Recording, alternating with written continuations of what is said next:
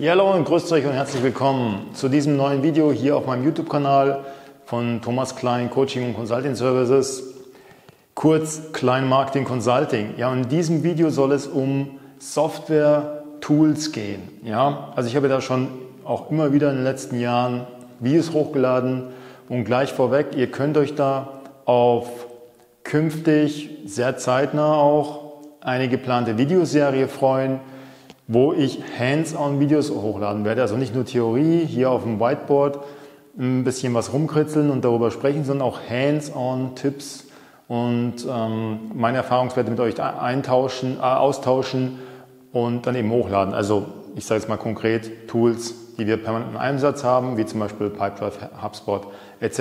pp.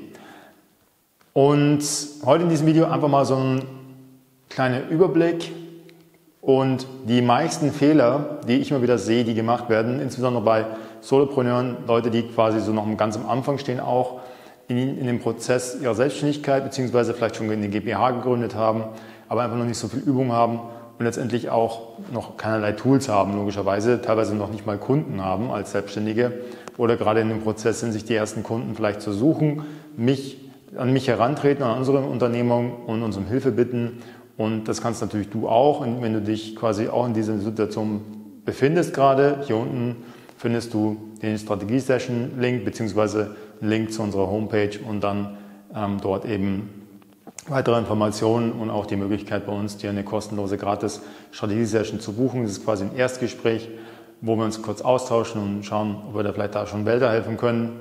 Und gleich mal vorweg, der wichtigste das wichtigste Learning, das ich in den letzten Jahren immer wieder mitnehmen konnte, von mir selber, von unserer Unternehmung oder von, auch von Kunden und von Leuten, die ich gecoacht habe, ist, dass man zugeballert wird von irgendwelcher Werbung, also zum Beispiel HubSpot und ähnliche Werbung, wo er sehr stark teilweise war, und mich dann, sich dann ein Tool kauft und dann dazu neigt, dass man seine Prozesse an das Tool anpasst, weil man sich quasi für ein Tool entschieden hat. Das hat vielleicht sogar ein bisschen mehr gekostet, als man vielleicht gedacht hat ursprünglich. Und man ist dann so quasi indoktriniert durch die Werbung und alles und durch viele Tutorials vielleicht, dass man so verliebt ist in das Tool, dass man hergeht und sagt, okay, ich will jetzt unbedingt dieses Tool, ich will alles nutzen, was da irgendwie in dem Tool, was zur Verfügung steht. Und jetzt nehme ich meine Prozesse, sofern sie dann schon bestehen, und passe sie sozusagen an das Tool irgendwie an. Ja, und wenn die nicht ausreichen irgendwie, dann mache ich noch mehr Prozesse dazu, damit ich noch mehr das Tool nutzen kann, weil ansonsten habe ich es ja umsonst gekauft. Also so ein bisschen die Ding, äh, und das ist natürlich grundsätzlich verkehrt. Du solltest herangehen und bevor du überhaupt daran denkst, ein Tool zu kaufen, solltest du zuerst mal deine Prozesse analysieren, definieren, dann vielleicht sogar nochmal einen externen, so wie uns, drüber schauen lassen, optimieren und dann erst implementieren. Ja, das heißt, du baust deine Prozesse um ein Tool herum und das Tool ist lediglich für die Implementierung, für die Umsetzung, für die dann später Anwendung, für deine Anwender, für deine Mitarbeiter oder wem auch immer, Kunden zuständig und nichts weiter. Ja?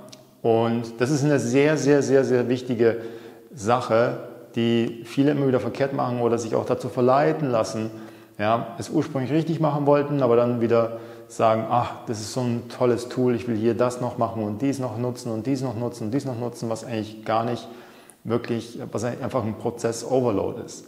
Denn was da häufig wirklich, egal wie groß du bist, selbst bei großen Unternehmen, die schon mehrere hundert Mitarbeiter haben, eine sehr, sehr wichtige Devise ist, dass du dir bewusst bist, dass weniger grundsätzlich immer mehr bedeutet.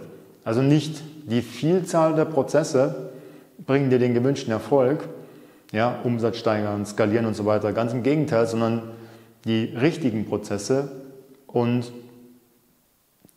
die optimalen Prozesse zu haben im Unternehmen und sogar möglichst wenig Prozesse zu haben im Unternehmen. Denn mehr werden es automatisch im Laufe der Skalierung, wenn du größer wirst und wächst mit deiner Unternehmung.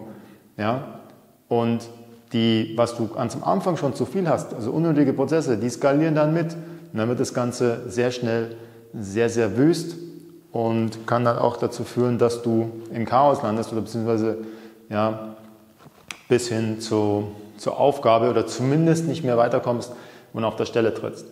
Also ganz, ganz wichtig und dass du letztendlich am Ende des Tages auch immer den User im Zentrum hast. Also das heißt, alles, was du tust mit Tools, ja, ist letztendlich, sollte letztendlich userzentriert sein. Das heißt, am Ende sind es die Anwender, die an Produktivität gewinnen sollen, ja, die ihre Ziele erreichen sollen, ja, die ihre Ziele vielleicht sogar übererreichen sollen. Das heißt also an Produktivitätszugewinn, an Wachstum für das Unternehmen zuständig sind. Es sind letztendlich die Anwender, die das sozusagen die inneren Organe deines Systems, wenn du jetzt mal einen Menschen als System nimmst und dein Unternehmen als System, ja, die Leber, der Vertrieb, ja, die Niere, das Marketing, ja, das Herz, ja, ja, die Buchhaltung und so weiter, dass die letztendlich optimal funktionieren können und du dann auch skalieren kannst und letztendlich die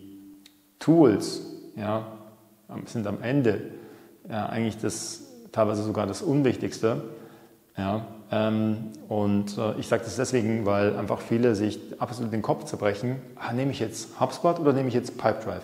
Ja, wie kommt es denn überhaupt dazu, dass du dir überhaupt den Kopf zerbrichst, ob du diese zwei nimmst? Ja, weil die eben so viel Marketing machen. Ja, und du deswegen diese Brands, diese Tools, diese zwei Namen im Kopf hast, okay, das ist denen ja gutes Marketing. Aber im Endeffekt könntest du auch irgend, sonst ein Tool nehmen, nehmen, das noch gar keiner kennt, ja, aber trotzdem super ist. Das heißt, es ist nicht so dieser Tool-Fokus, sondern es ist der, zuerst der Prozess-Fokus und dann der Anwender-Fokus. Also das ist mir ganz, ganz wichtig, dass wir das hier rüberbringen. Und in diesem Sinne freue ich mich mit dir auf unsere nächsten Videos und trag dich gerne bei uns ein.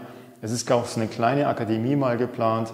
Ja, habe ich auch schon viele Videos gemacht, wo ich einfach wirklich richtig gute Tipps raushau, aber dann halt auch in äh, Bezug auf äh, nur Tools, ja, die wir sehr stark verwenden. Ich habe schon zwei genannt, ähm, Pipedrive und, und äh, HubSpot und auch andere, die sehr, sehr wichtig sind. Ja, ähm, mal schauen, wie weit wir dann in die Tiefe gehen können. Okay, bis zum nächsten Mal, dein Thomas Klein. Ciao.